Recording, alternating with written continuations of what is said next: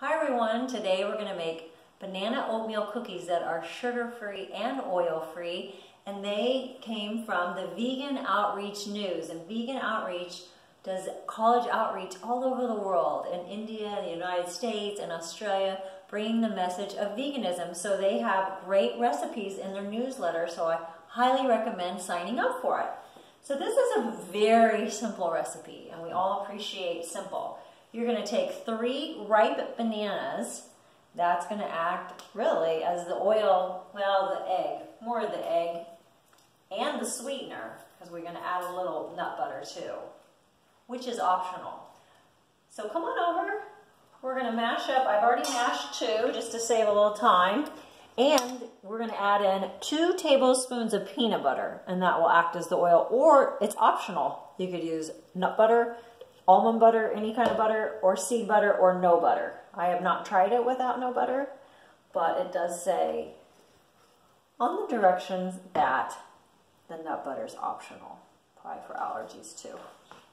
Okay, so we've got our ripe bananas and peanut butter, and you could even have the bananas be frozen and then thaw them out, get the water off them, and then mash. So again, these are super easy and all whole foods, plant-based.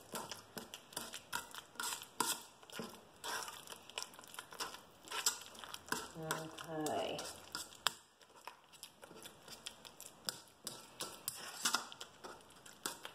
Then we're going to add in two cups of oats. And I like to use organic rolled oats.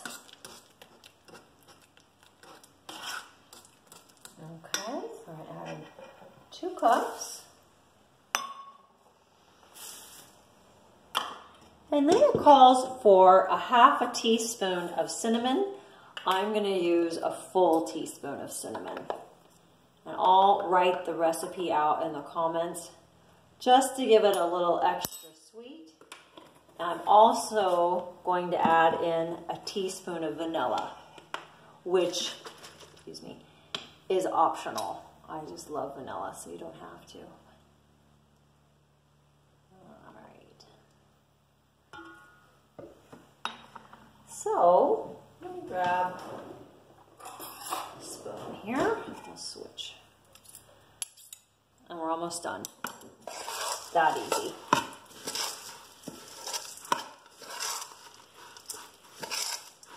Then you can add in your favorite fried, excuse me, fried Dry fruits, no fried. Dried fruits such as cranberries or raisins, and the recipe even suggests dried apples. You could chop up some dried apples. I haven't tried that one yet, but I like to add in a couple handfuls of cranberries. So I just get out of the bin, organic cranberries, and I add in a couple handfuls of chopped walnuts, which of course you could omit also. Now, you can add some chocolate chips, some vegan chocolate chips. I'll show you. Well, I don't have many, sorry. Enjoy is a great brand. Trader Joe's, their brand.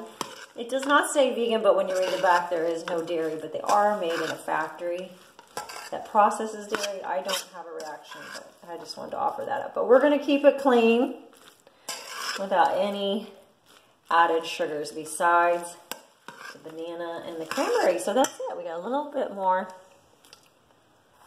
nuts here. And again, you could omit the nuts. Okay, you know what? It's actually really delicious just by itself. I'm glad I'm full, otherwise I'd be snacking on it. Okay, let's get that out of the way. We are going to use our cookie scoop. Now the last time I've made these, they've turned out a little small. I'll show you here in a minute. I'm to increase my scoop size. I'm to make a bigger scoop. And just do a big dollop. And you're to bake these at 350. See, that's to end up being a little small.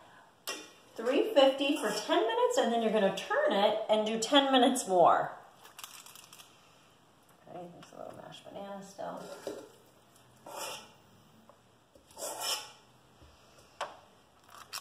Really smell the banana and cinnamon and vanilla. Okay, and I'll keep going in a minute and I'll just show you the final product. After you bake them for at 350 for 20 minutes total, this is how they turn out. So again, mine are little, you can make yours bigger.